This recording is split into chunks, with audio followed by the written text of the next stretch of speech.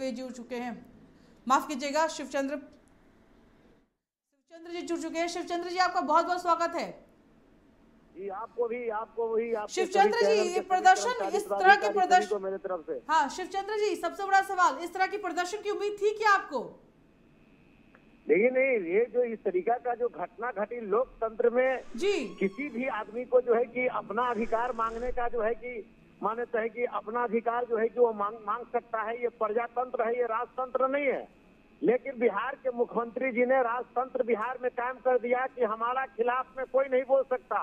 अगर खिलाफ में अगर बोलेगा तो हम उसको लाठी चार्ज करेंगे और लाठी से जो है आज हमारा सैकड़ों हमारा युवा के कार्यकर्ता आज किसी के माथा फटा है किसी के पैर टूटा है कभी कहीं किसी का स्थिति है इस तरह से पत्थर फेंक फेंक कर कर करके और पुलिस की डंटा जो इस तरीका की चमका चमका कर करके इसको बर्बाद कर दिया।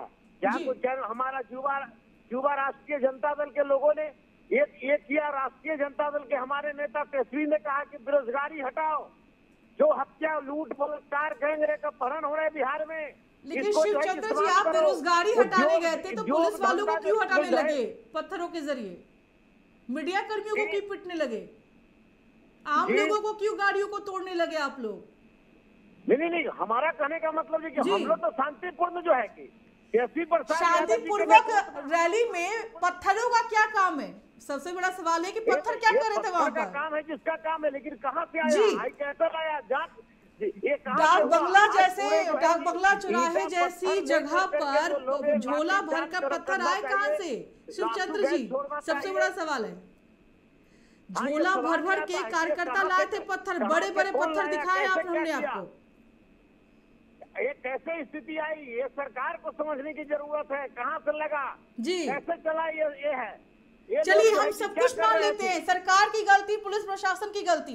आम लोगों को क्यों भुगतना पड़ा? आम लोगों को भी की गाड़ियों को नुकसान पहुँचाया गया इस पर क्या कहेंगे? पूरे प्रशासन है। जी। तमाम विफलता है विफलता के कारण ये लोग जो है कि बिहार के लोगों को जो है कि एक रोजी रोटी से जोड़ना नहीं चाहते बेरोजगारों को रोज़गार नहीं देना चाहते हत्याएँ रुक नहीं रही है आए युवाओं का रोज़गार नहीं मिल रहा है तो अपना अधिकार मांग रहा है। ये लाठी और डंडा से जो कि उसको कपाल फाड़े जा रहे हैं, रोजी रोटी के चक्कर में पुलिस की बोटी बोटी नोचने की कोशिश आरजेडी कार्यकर्ताओं के द्वारा की जा रही है। इस पर क्या कहेंगे? ये गलत है ये गलत मान लेते हैं ये क्या है? ये आरोप हम नहीं लगा रही, तस्वीरें दिख रही है। शिवचंद्र जी, तस्वीरें दिख रही कौन कर रहा है? जी। तस्वीरें दिख रही है? ये गलत मान के चलिए जी कर रहा है कि पुलिस के बोटी बोटी। हमारे लोग थे झंडा लिए हुए थे झंडा लेकर जिस तरह से प्रदर्शन जो में पत्थरबाजियाँ चली है पुलिस के जवानों के सिर फूटे हैं शिवचंद्र जी। आखिर कैसे पत्थरबाजी शुरू कैसे हुई? नहीं नहीं नहीं हमारे लोग हमारे लोग जो है कि हाथ में झंडा लिए हुए थे। जी। झंडा लेकर के लोकतंत्र में वो अपना जो है कि सरकार से वो डिमांड कर रहे थे सरकार से मांग कर रहे थे। लेकिन जिस तरीका से बर्बरता पुलिस की जो कार्रवाई हुई ये सरकार की जो कार्रवाई इस तरीका का हुआ ये युवक जी। लोग रोज़गार की खोज कर रहे हैं शिवचंद्र जी एक सवाल यह एक खबर की पुष्टि चाहेंगे आपसे कि एक तेजस्वी यादव ने आरोप लगाया है कि एक कार्यकर्ता की मौत हो गई है पुलिस की लाठीचार्ज में। नहीं नहीं उनके उनके आरोप क्या है? उनके कहने का मतलब ये कहने से क्या हो जाएगा? नहीं जी जी ये ये सवाल आपसे है क्या इसकी जानकारी है आपको? लाठी तो देकर के खून दिया। जो हमारे लोग कहीं कोई गार्डनर हॉस्पिटल में है तो कोई पीएमसीएच में जो है जी आज लगता है हमारा सवाल नहीं समझ पाए। हमारा सवाल ये है क्या एक कार्यकर्ता की मौत भी हो गई है इस लाठीचार्ज में? सवाल यह है। तेजस्वी यादव आपके जो नेता हैं तेजस्वी यादव ये आरोप लगा रहे हैं कि पुलिस की लाठीचार्ज में मौत हो गई है। हाँ इस जी। माने हमारे नेता ने नेता शांतिपूर्ण हमारे आंदोलन कर रहे जी, थे। शांतिपूर्ण वहाँ आंदोलन हो रहा था। जी जी। तो क्या पुलिस पर रही थी? जी। ये लोकतंत्र में जो मान के चली की आंदोलन का रोकने का लाठी से आप आंदोलन को नहीं ना रोक सकते। इनकी आदत है बिहार की सरकार की आदत है।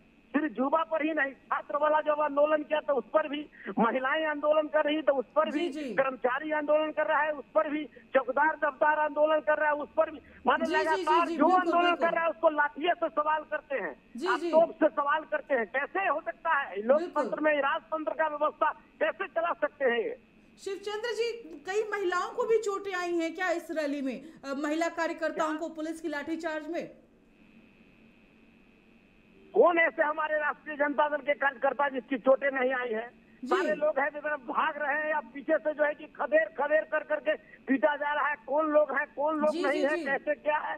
सारे लोग को स्थिति कहने कौन ऐसे लोग हैं जो आंदोलन में थे जो जो पिटाए नहीं है पर मांग नहीं हुई है उसकी? आगे की क्या रणनीति है आप लोगों की? शिव चंद्र जी आगे क्या कुछ तय करने की रणनीति पे काम करेंगे आप लोग? सर सरकार नहीं, को इस घेरा कार्यक्रम को बेरोजगारों को रोज़गार के, के लिए। लूट हत्या बलात्कार के लिए ये तमाम चीज़ों के लेकर कर के लिए हम लोग सड़क से लेकर सदन तक आंदोलन करने का काम करेंगे। चूप बैठने वाला नहीं है राष्ट्रीय जनता दल। जितना उसको गोली चलाना है जितना जो है कि लाठी चलाना है करे हम जनता के सवाल को लेकर के सड़क से लेकर सदन तक आंदोलन करने का काम करेंगे। जी जी जी। शिवचंद्र जी तमाम बातचीत के लिए शुक्रिया आपका। तो हमारे साथ आरजेडी के पूर्व मंत्री शिवचंद्र जी जुड़े हुए थे। उनका कहना है कि चाहे गोलियाँ भी खानी पड़े, हम बेरोजगारी के मुद्दे पर सरकार को घेराबंदी, सरकार के घेराबंदी करने से नहीं चुकेंगे। हालाँकि अभी फ़िलहाल तमाम नेताओं की, कार्यकर्ताओं की गिरफ्तारी हो चुकी है और उन्हें एसके मेमोरियल हॉल बस में बैठाकर ले जाया जा चुका है।